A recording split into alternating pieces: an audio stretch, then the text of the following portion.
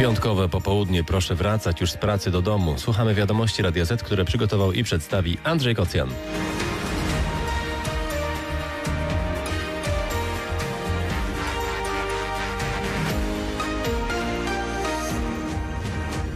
Trzęsienie ziemi w Stanach Zjednoczonych było odczuwalne w Nowym Jorku. Jeden dzień trwała kariera Renaty Czech w zarządzie PGE. Radio Z odsłania kulisy jej rezygnacji, a w najważniejszej rozmowie popołudnia europoseł Nowej Lewicy Robert Biedroń. 18.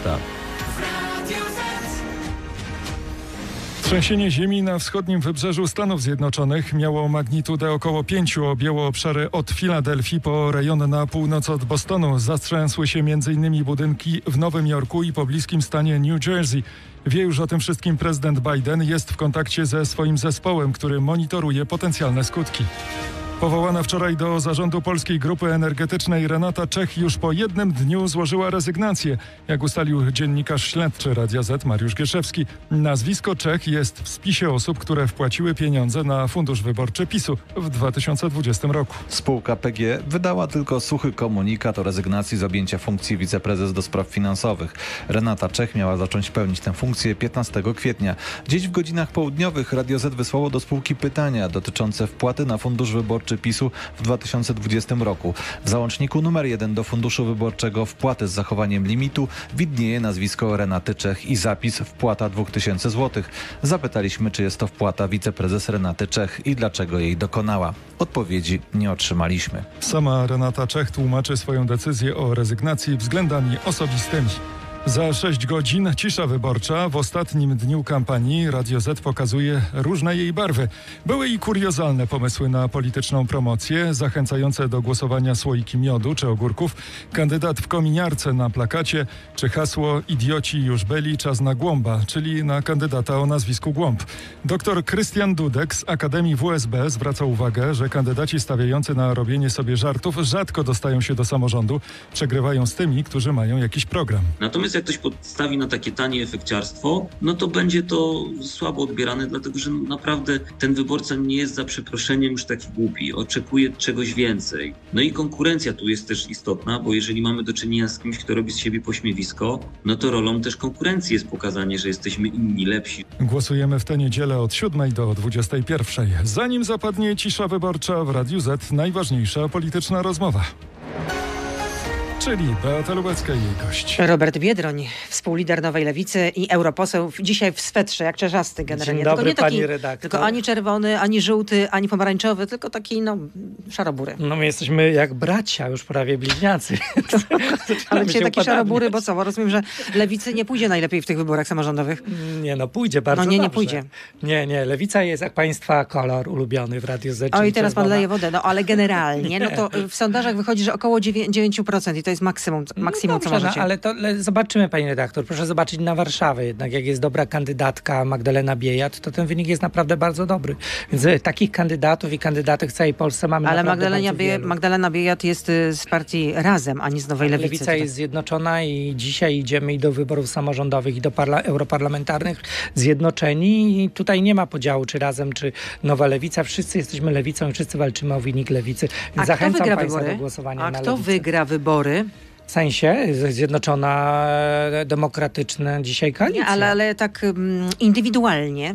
Nie wiem, pani redaktor, to wszystko dzisiaj jest w rękach. No bo no jest sondaż, nie wiem czy pan widział sondaż Ibris dla Polsatu, no to jakiś sensacyjny, że PiS i Koalicja. Obywatelska, no tak łeb w łeb. Myśli pan, że to No, trochę jest tak Pani jest podrasowane? Podrasowane, tak? Że to Dobrze tak ma... wie, że sondażom nie ma co ufać, to jest taka zabawa trochę Ale tutaj różnica y, 0,1 punktu procentowego. No to Dla mnie jest ważny dobry wynik lewicy, to, żeby nasi kandydaci i kandydatki e, w tych wyborach samorządowych odnieśli e, sukces. Dlaczego? Dlatego, że to są wybory naprawdę ważne dla samorządu, dla Polek i Polaków, bo to nie jest tak, że samorząd... i e, mówi to były prezydent Słupska, Mówię to jako były prezydent który jeździł do pracy samorządowy. 300 metrów, ale rowerem. A dzisiaj do pani redaktor przyszedłem na piechotę ze Starej Ojej, to tylko, to tylko dla zdrowotności. Polecam To wszystkim. tylko dla naprawdę. zdrowotności. Więc y, wracając do tematu, to jest ważne i mówię to jako były samorządowiec, ponieważ tam nie tylko decydujemy o tym, jak będzie chodnik wyglądał, bo chodnik też ma poglądy. Na przykład można robić chodnik chodnik z kostki brukowej, po której pani nie przejdzie na szpilkach, a można nie. zrobić e, chodnik, który jest dostępny dla wszystkich. Jak będą wyglądały szpitale, czy na przykład będzie stosowana klauzula sumienia, jak będzie, jak będzie wyglądała na przykład szkoła, czy ona będzie bardziej praktyczna, mniej teoretyczna, bardziej świecka, czy, bardziej, czy będzie więcej religii no dobrze, i tak teraz dalej. rozumiem, że to gramy na czas, jeśli, jeśli pana słucham, nie, nie, ale, ale, ale, czytam a gramy propos, na a, głosy a, a, dla byłej, byłej władzy, e, że decentralizuje kampanię, wycofała prezesa, no i gry przede wszystkim na obniżenie frekwencji. To zupełnie inaczej niż Donald Tusk. Tak, ponieważ frekwencja niestety działa na korzyść PiSu i dlatego wszyscy znaczy, ludzie niska dobrej... frekwencja. Niska frekwencja, tak. Niestety niska frekwencja gra na korzyść PiSu i dlatego wszyscy ludzie dobrej woli w niedzielę powinni iść głosować, żeby e, nie tylko przedłużyć tą dobrą pasę dzisiaj dla Koalicji Demokratycznej, ale także wybrać samorząd, który będzie odpowiadał oczekiwaniom ludzi. Dzisiaj w wielu przypadkach tak nie jest, także w Warszawie. I dlatego tak wysokie poparcie dla Magdaleny Biejat i no, dla Lewicy. nie będzie raczej drugiej tury, można przewidywać. E, no, taka jest prawda. A jeśli chodzi o trzecią drogę, to nadal by tam pan życzył im czerwonej kartki? Czerwona kartka mi się dobrze kojarzy, ale w przypadku trzeciej drogi się bardzo y, należy. Ze względu oczywiście na to, że my zrobiliśmy naprawdę wiele, żeby naszych y, braci i siostry w trzeciej drogi wierze wesprzeć. I dzisiaj ja jestem rozczarowany ich postawą, ponieważ. Yy, Polacy oczekują, że my jako y, koalicja rządząca będziemy załatwiali konkretne rzeczy, na które się z nimi umówiliśmy. Ja widziałem polityków trzeciej drogi na y, marszach, y, na czarnych protestach, na strajkach kobiet, w wielu miejscach, gdzie mówiliśmy o prawach kobiet i naprawdę dzisiaj nie ma żadnego powodu, żeby pewne rzeczy, na przykład związane z ustawą dotyczącą przerywania ciąży do 12 tygodnia, po prostu po ludzku załatwić. Tak się nie stało i no jestem przecież, rozczarowany. No przecież projekty będą rozpatrywane po pierwszej turze e, wyborów do samorządu, czyli w przyszłym tygodniu. Ale i co z tego, pani redaktor? Czyli Jeżeli... miłości nie ma w tej waszej koalicji. Oj, nie, nie ma, no, oj, pani nie redaktor, ma. Też nie mówmy, że nie ma miłości. Jest współpraca, różnimy się poglądami, ale Lewica nie ukrywała tego, że wchodzi do tego rządu, żeby pewne rzeczy popychać do przodu, żeby załatwić takie pewne mydło rzeczy. i powidło, od prawa do lewa, no taka jest prawda. Ale po to jest Lewica, żeby pewne rzeczy załatwiać, na przykład kwestie mieszkaniowe. 5 y, y, miliardów złotych, pani redaktor. Właśnie jest decyzja dzisiaj. Jest y, pan minister Kukucki przyjął rozporządzenie 5 miliardów złotych. To jest, było półtora miliarda, będzie 5 miliardów na mieszkalnictwo komunalne. To jest jedna z rzeczy, które my dowozimy. No i mamy to. Pierwszy wniosek o płatność z KPO ma na 27 miliardów złotych e, formalnie, oficjalnie zatwierdzony przez Komisję Europejską. No i, e, a pamięta pani, jak nam Obwieścił się dostał... Szymon Hołownia. A pamięta pani, jak nam się dostało po głowie za to, że Lewica głosowała za KPO? Za to, że walczyliśmy za KPO? Żeby te pieniądze były na mieszkania, na szkoły, na taka drogi. decyzja Komisji Dzisiaj Europejskiej jest. tuż przed wyborami 6, do samorządu. 6, no tak, ponad 6 cóż, miliardów Cóż za przypadek, euro. naprawdę. na kolejne. Lewica walczyła o to i będziemy konsekwentnie walczyli. A jak pan zareagował, jak pan słyszał, że w kampanii ubiegłorocznej, e, tak, w 2023 roku PKN Orlen miał zlecić inwigilację e, Bartłomieja Sienkiewicza ówczesnego posła opozycji, teraz ministra kultury. Żyliśmy w państwie, którym legitymacja partyjna była mandatem do tego, żeby ludzi inwigilować, śledzić, podsłuchiwać, zaglądać nam pod kołdrę, robić rzeczy, które dzieją się w systemach, którym się brzydzimy, tak jak, takich jak Białoruś. To Łukaszenka robi takie numery. Inwigiluje opozycję, ale po co, straszy. Ale po co akurat y, trzeba było inwigilować no, domniemane, rozumiem, że no, to trzeba jeszcze udowodnić, prokuratura się tym zajmie, y, czy też już się zajęła. Y, ale po co generalnie minister Sienkiewicz? Myślę, Jakiś że raport tym... powstał, który kosztował pół miliona. Za... Amerykańska firma prowadzi, miała wprowadzić ten... państwa pieniędzy, to, to państwo zapłaciliście za to, bo przypomnę, że Orlen jest spółką państwową, więc są to publiczne Czyli pieniądze, pan płaci, pani płaci i nasi słuchacze płacą. E, dlaczego? Dlatego, że robią to ludzie mali, pani redaktor. Ludzie, którzy się boją, którzy są opętani manią prześladowania wychowawczą, manią, że ktoś na nich czyha, że y, ktoś, ktoś knuje i taki Kaczyński czy Obajtek, oni pewnie każdego dnia zastanawiają się, co tam Lubecka z Biedroniem gada, jak ich podsłuchać, jak im zajrzeć pod kołdrę. Jak, y, no tak, panie redaktor, przecież to robili Pegasusem. Robili to dziennikarzom, robili to politykom, robili to niewinnym ludziom, którzy Bogu ducha winni, e, nie przypuszczali, że w państwie demokratycznym ten Kaczyński z takim obajtkiem będą takimi świństwami się zajmowali. No, czekamy, no czekamy, jak zostaną ujawnione te osoby. Przecież one muszą same zdecydować, kto będzie, wyjdzie z otwartą przyłbicą i powie, że tak, byłem inwigilowany przez, y, przy pomocy Pegasusa. Dobrze, to na, na koniec tej części radiowej to w takim razie, jaki wynik zdobędzie Lewica? Dobry. Wszystko, co będzie lepszym wynikiem od wyborów parlamentarnych, będzie dobrym wynikiem A, dla raczej- Lewicy. raczej dla nas ważne jest, żeby, żeby odbić semiki.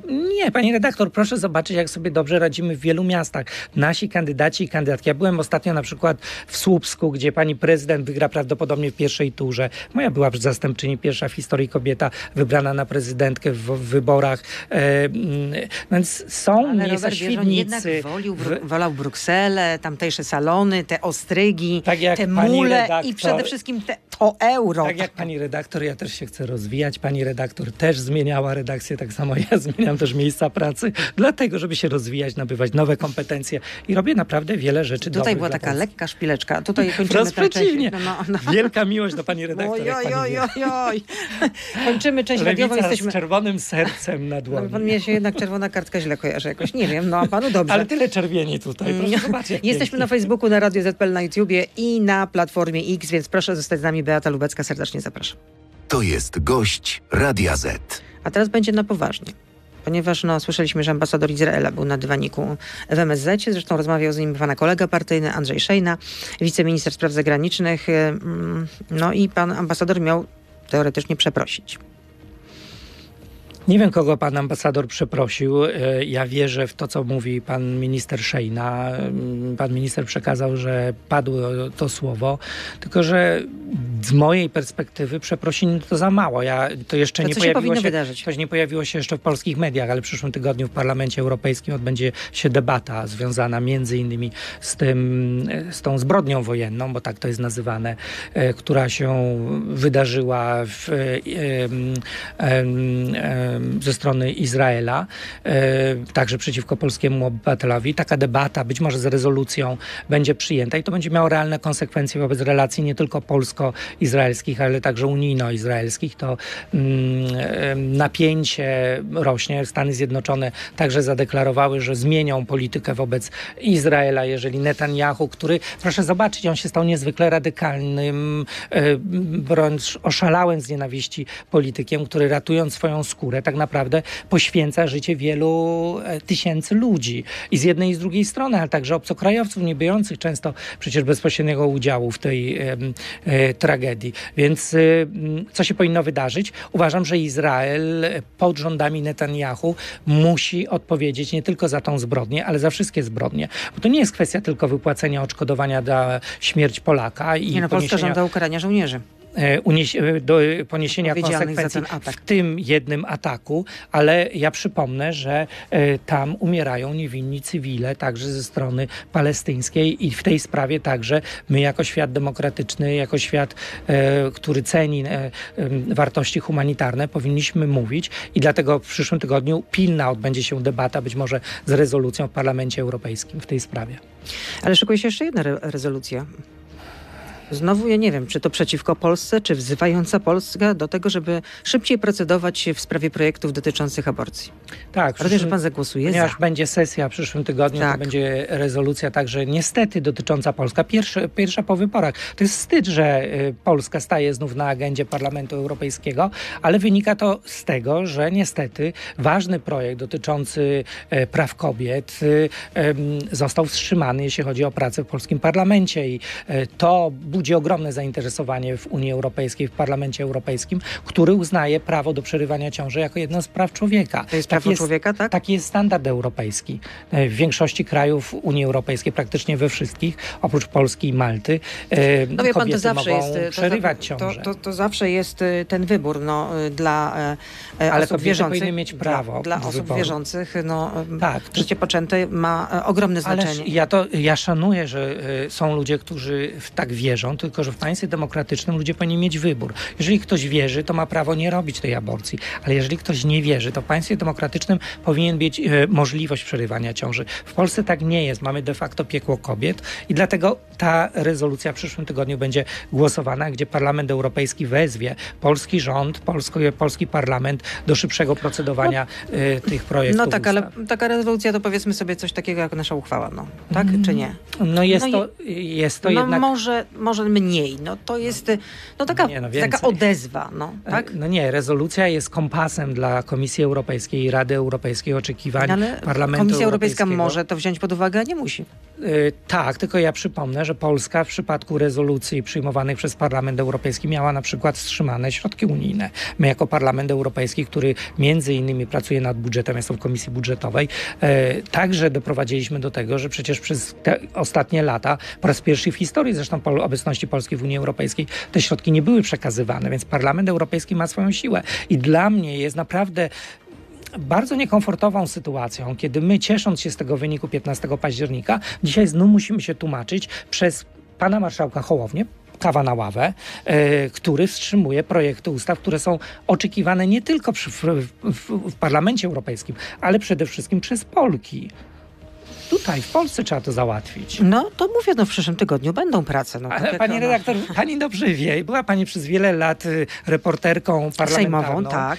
I bardzo dobrze- to lubiłam. E, I ja bardzo ceniłem sobie tą współpracę, ale pani dobrze wie, że y, to, że, te, mm, że one zaczną być procedowane, nie oznacza, że one są uchwalone. Ale rzeczywiście odeślę się zostaną do, do prac w komisji i to to, to będą te, jak to mówiła Anna Maria Żukowska, to taka chłodna, Chłodnia. nie, chłodna zamrażarka, czy nie, coś takiego, tak powiedziała nawet zgrabny taki bonmot. No tak. Bo czasami ma też, no, różne, no bo pan Bety raczej nie... politycy. No ale ja nie pamiętam, że pan y, użył aż takich słów y, w, mm, publicznie, pani tudzież... jestem grzeczny. Nie, no ale nie przypominam sobie, tego, żeby to taki był wpis wypier i tak dalej. No. Okropne, to prawda. To nie są słowa, które przystoją A, parlamentarzystom. a czemu, czemu Anna Maria, a Maria Żukowska, a dlaczego Anna Maria Żukowska używa takich słów? Bo nie wiem, bo chce mieć taki powiedzmy fame, żeby były zasięgi, rozgłos, o co chodzi? Czy po Ona prostu mówi- ponosi ją? Myślę, że ona mówi to, co słyszy na ulicy. I ponieważ e, Mhm. ona jest często em, e, rozmawia ze środowiskami kobiecymi, z kobietami. Ale z to kobiety tak używają takich słów? Myślę, tak, tak, że wiele kobiet, ja usłyszałem to na ulicy wielokrotnie, że e, w tej sprawie są ogromne emocje przeciwko panu marszałkowi Hołowni, przeciwko trzeciej drodze e, i Myślę, że to zobrazowało dość dosłownie coś, czego ani pani, ani ja byśmy publicznie nie użyli. A pani Żukowska ma taką. e, No taką, taki artyzm. wy- O, to jest artyzm, nie no ludzie, to jest artyzm, nie no teraz, no, cóż eufemizm. Wolność słowa pyta. W kampanii parlamentarnej wylewał pan do kobiet przy pomocy hasła głosujesz na Konfederację, nie idę z tobą do łóżka. Czy nie jest panu wstyd, że sprowadził pan rolę polskich kobiet do obiektu seksualnego i wykorzystywał je po prostu na potrzeby polityczne? Ale to zadziałało. No kobiety nie zagłosowały na Konfederację. No tak, Więc ale, apeluję ale, o to, żeby nie głosować na Konfederację. jednak Jeżeli ktoś chce w tym sobie pytaniu jest dużo prawdy. Pani redaktor, ale naprawdę kto, kobiety chcą sobie zrobić kuku głosując na Konfederację? Nie chcą. No nie chcą głosować. Ale dlaczego? Dlatego, że e, to Konfederacja między innymi podpisała się pod wnioskiem do Trybunału Konstytucyjnego o de facto zakaz aborcji. Przecież to dzięki między innymi parlamentarzystom Konfederacji mamy to barbarzyńskie prawo przyjęte przez tryb- u- uchwalone za pomocą uchwały Trybunału Konstytucyjnego. To Konfederacja przecież mówi nie dla Unii Europejskiej, nie dla LGBT, nie dla e, e, równości kobiet i mężczyzn. No to, halo, no, Ale przed wyborami nie za to, róbcie tego. ale za to Znaczy, zyskuje, ale za to, nie ale, róbcie tego, no, ale, nie no na chwileczkę, ale właśnie Konfederacja ma powody do zadowolenia, wynik 8,4%. O, chwileczkę, no a Osiem wtedy przecież- też mieli, tak. mieli wy, wyrzucić... Ale o wywrócić- 3% lepszy niż y, w styczniu. Mieli wywrócić stolik, ja przypomnę. no. Napinali, Sami się wywrócili. napinali muskuły, a sami się e, wywrócili. Dzisiaj siedzą przy Kaczyńskim w opozycji. Tak skończyli. Z- Jest kolejne pytanie. Dlaczego lewica nie dba o interesy mężczyzn? Dlaczego niemal każdy postulat lewicy dotyczy kobiet i tego, żeby kobietom ułatwiać życie kosztem mężczyzn? Czy partia, która ma równość na sztandarach, nie powinna również walczyć o równość, a nie tylko o przywileje dla jednej grupy społecznej?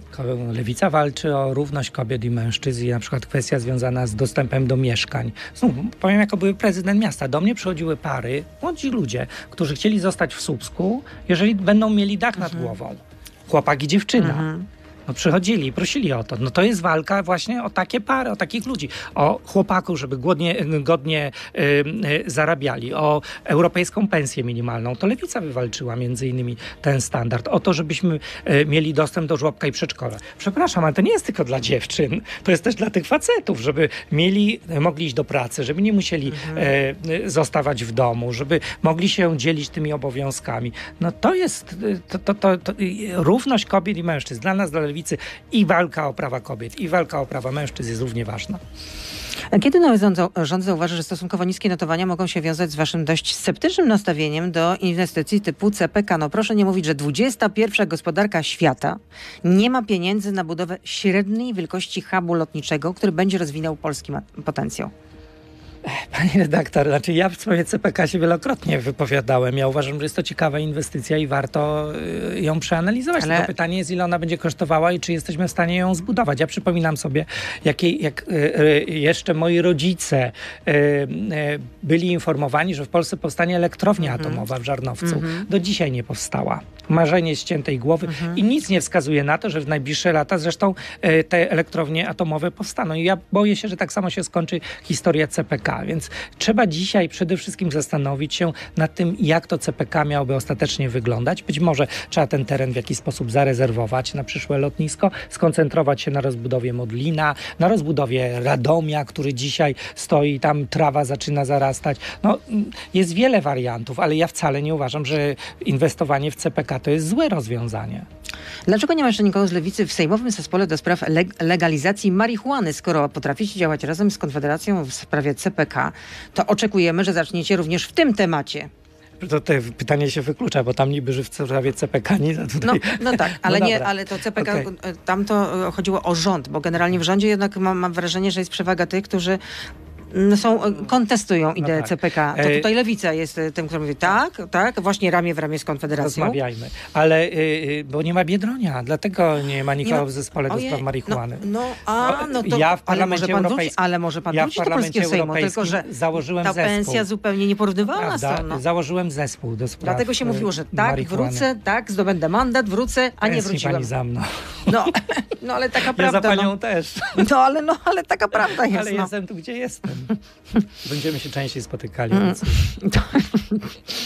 Panie pośle, kilka lat temu mówił pan, że zamiast wzbrojenia woli pan inwestować w żłobki przedszkola. Kilka lat temu przyznał Są pan, że, pytania od Tak, słuchaczy. Myślałem, że tak, tak, Okej, tak. dobra. kilka lat temu przyznał pan, że mylił się. e, Dzisiaj jest dużo pytań do pana, naprawdę.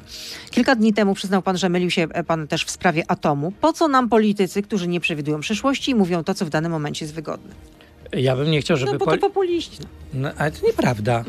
No nieprawda. Pani redaktor, najgorsi są politycy właśnie, którzy w pewnych sprawach nie zmieniają zdania. Aha, Czy ja bym chciał, żeby na przykład Szymon Hołownia zmienił zdanie, jeśli chodzi o procedowanie projektów ustaw, żeby popierał na przykład przerywanie ciąży. Ja od lat walczę o to, żeby na przykład politycy zmienili zdanie, jeśli chodzi o związki partnerskie. I udaje nam się coraz więcej tych polityków przekonywać. Proszę zobaczyć. Jest ich coraz więcej, nie coraz mniej. Więc politycy czasami muszą zmieniać zdanie i dostosowywać się do oczekiwań społecznych. Przecież po to ludzie nas wybierają, żebyśmy też ich słuchali. E, Więc ja czasami zmieniam zdanie. Uważam co więcej, że powinniśmy inwestować i w kwestie związane z armią, na przykład europejską. Jestem wielkim zwolennikiem budowy armii europejskiej, której nie istnieje uważam, że na tym tracimy. Ojej, to by ale chyba zajęło z 10 lat. No, Dobra, a pani przecież ale słyszymy, że, to, że żyjemy w epoce przedwojennej. Kiedyś- E, tak, dobrze mówię, tak, przedwojennej. No tak, ale kiedyś trzeba zacząć, trzeba już się przygotować do tego wszystkiego. No, e, no, ani dnia zwłoki, ale i e, inwestować w te kwestie, i w żłobki i przedszkola. Jedno drugiego nie wyklucza. Dzisiaj e, połowa gmin, e, jeśli chodzi o Polskę Wschodnią, nie ma dostępu do, do żłobka. No to trzeba zmienić. Czy tym razem też taktycznie zagłosujecie na, trzecią drogę? No nie, no nie, no Lewica nie będzie głosowała na, No na trzecią drogę, będzie głosować na samych siebie. Dziękuję. No, no przecież. To To jest, pani na pytanie. no skoro, skoro powiedział pan, że lubi pan czerwoną kartkę i że trzeba wręczyć czerwoną kartkę, no, y, cały czas zniechęca pan do tego, żeby jednak ludzie nie zagłosowali na trzecią drogę, tylko nie wiem, czy bardziej na Hołownię, czy bardziej na PSL, żeby nie głosowali. Hmm? Nie, pani redaktor. Jak ostatnio usłyszałem, że PSL nie chce związków partnerskich przyjąć także, no, że Bo to to, bo oni chronią zagraża, rodzinę. zagraża rodzinie, tak? Pani redaktor, i oni to mówią. Łącznie z, e, z Władkiem Kosiniakiem Kamyszem, Znaczy, którego kocham. Naprawdę znam go od wielu lat. I oni to mówią. Ludzie, którzy się rozwodzą, którzy tam różne rzeczy, przecież no tak, no jak nie. No tak, no Władysław są Kosiniak-Kamysz, no, tak, no, ma drugą żonę. Naprawdę. Tak, ma drugą Sercem żonę. na dłoni, naprawdę, ja ich kocham. Ale po co oni to gadają? Przecież to jest obłuda. No naprawdę. Czyli myśli pan, że to tak pod publikę, pod swój elektorat, tak? No, ale te związki partnerskie nikomu nie szkodzą. Zdecydowana większość ludzi jest za tym przecież w Polsce. E, p- Po co? No to nie, dzielmy się tą miłością. Sprawmy, żeby ludzie się szczęśliwie żyło, żeby ten biedną z tym śmiszkiem już nie chodzili po tych telewizjach i gadali o tych związkach, tylko żeby już sobie żyli razem. I miliony Polek i Polaków. Naprawdę, zróbmy to w końcu. Panie pośle, czy zrezygnuje pan z funkcji współlidera lewicy, jeśli stracicie liczbę mandatów do Europarlamentu w czerwcu w porównaniu z obecną kadencją? Nie, dlaczego miałem to zrobić? Nie, jestem współliderem, mamy swoją kadencję. I będę startował dalej. Będę startował z Warszawy z pierwszego miejsca, będę liderem listy warszawskiej. To już ogłosiliśmy, więc nie jest to żadna nowość. E, nie widzę powodu. Będzie że pan na autobusach? Wtedy startowaliśmy. Będzie pan na nie, autobusach? ja nie, nie lubię tych wszystkich plakatów, chyba nie będę. W ogóle nie będzie pan na autobusach? Mm, Znaczy, ja nie wiem, ale ja jak byłem, jak startowałem na prezydenta Słupska, nie miałem ani jednego plakatu. I Czy nie był pan chłopiec z plakatu? no nie byłem, byłem chłopcem z, z ulicy. Z roweru.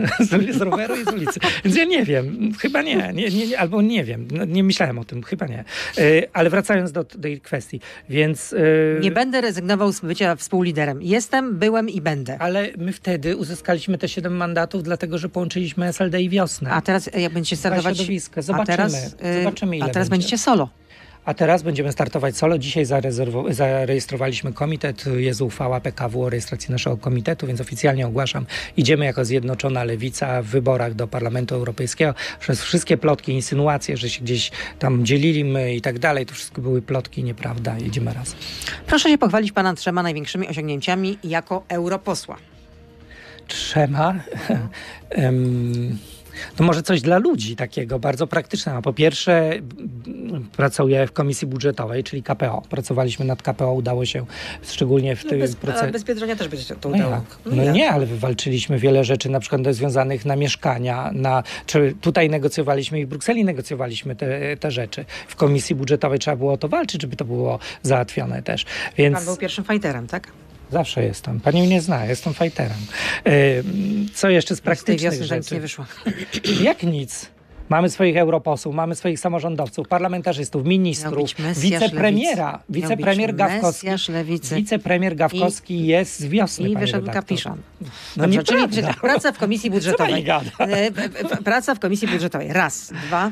Yy, No to w sprawach na przykład jestem przewodniczącym Komisji e, e, do Spraw Praw Kobiet i Równości. No to na przykład Europejska Karta Praw Kobiet, która była moją inicjatywą, będzie negocjowana z Komisją Europejską przyszłej e, kadencji, która jest katalogiem, wyrównuje, wyrównuje prawa kobiet w całej Unii Europejskiej, czyli żeby Polki miały takie same prawa jak Belgijki, Holenderki czy Francuski. Niezwykle ważna rzecz, żebyś, żeby, żeby, no mamy 2024 rok, nie ma żadnego powodu, żeby były te nierówności, więc Europejska Karta Praw Kobiet, moja inicjatywa, która została przyjęta przez grupę i będzie negocjowana z Komisją Europejską.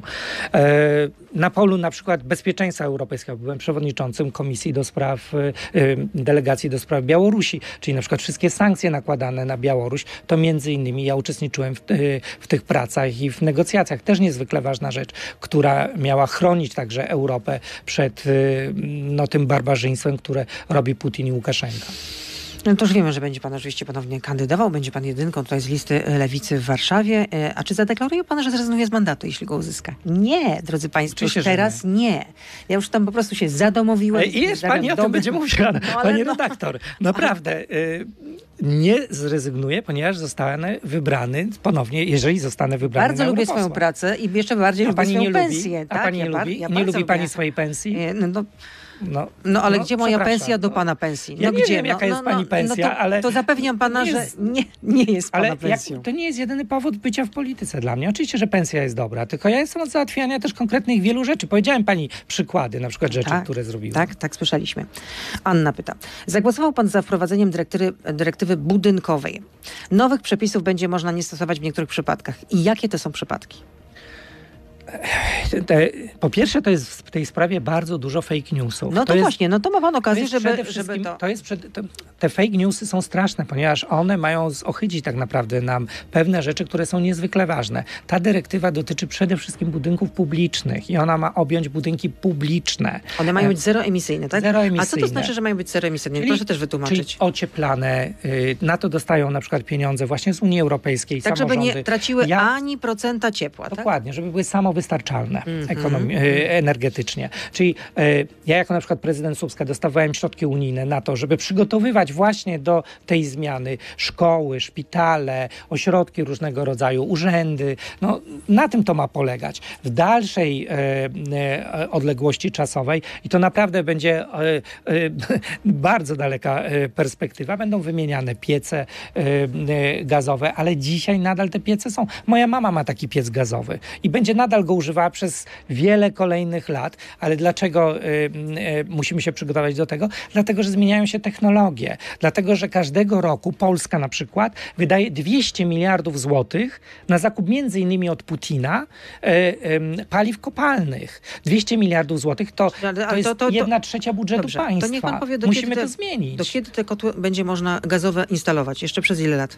Nie pamiętam, ale A naprawdę... potem co? y, A potem co? A później będziemy przechodzili na nowocześniejsze technologie. Czyli no tak jak co?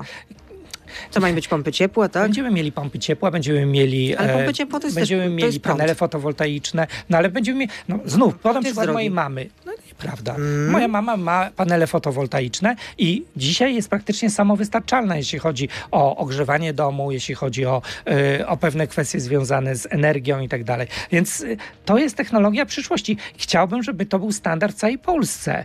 W tym kierunku powinniśmy iść. Dlaczego? Nie dlatego, że po pierwsze będziemy mieli niższe rachunki, czy Znów przykład mojej mamy. Ona praktycznie nie płaci rachunków. Płaci tylko jakieś grosze za to, że tam przyłącz do sieci i tak dalej, korzystanie.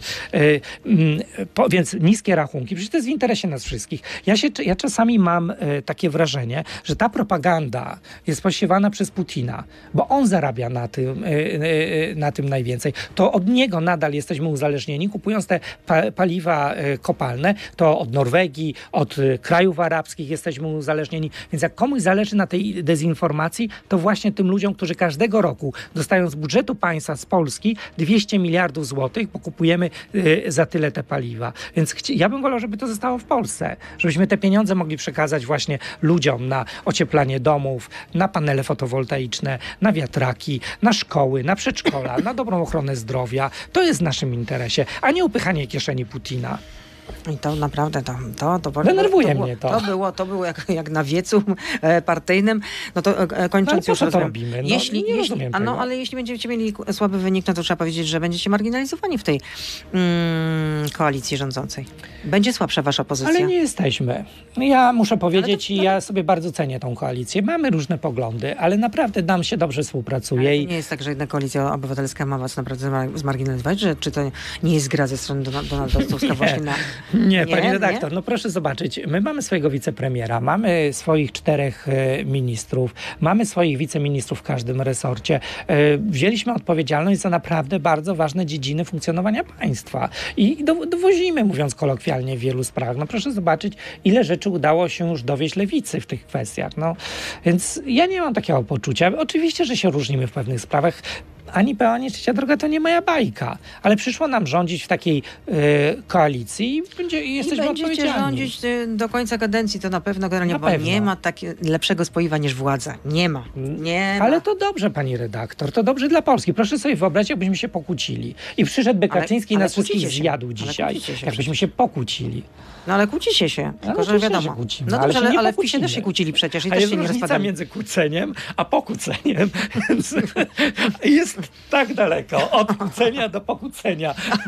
Będziecie mieli chociaż jednego swojego prezydenta po tych wyborach? My mamy swoich wiceprezydentów, przepraszam, w wielu miastach. No to kto? To Kolewica. No, w Świdnicy mamy prezydenta. E, Podam na przykład na Dolnym Śląsku. E, Legnica, Świdnica, No właśnie na e, Dolnym Śląsku może być ciężko. No, Gdzie? zobaczymy. No nie. Mam, y, popieramy prezydenta Sutryka, przecież z komitet y, Sutryk, samorządowcy i lewica. Mamy swój y, wspólny komitet. E, Mamy swoich prezydentów w wielu miastach w Polsce. W większości miast wojewódzkich mamy swoich wiceprezydentów. Więc A gdzie będzie wieczór wyborczy? E, W Warszawie. A będziemy, konkretnie gdzie? będziemy mieli e, w hybrydach. E, Zapraszamy Państwa już teraz o 21. I to był Zaczynamy. product placement na koniec. Robert Biedroń był z nami, współlider le- e, Lędowej Lewicy i europoseł, który znowu się wybiera do Europarlamentu, bo Bruksela to Bruksela. Dziękuję bardzo. Wszystkiego dobrego. Głosujcie Państwo na Lewicę w niedzielę. To był gość Radia Z. Słuchaj nas w Radio Z i na player radioz.pl.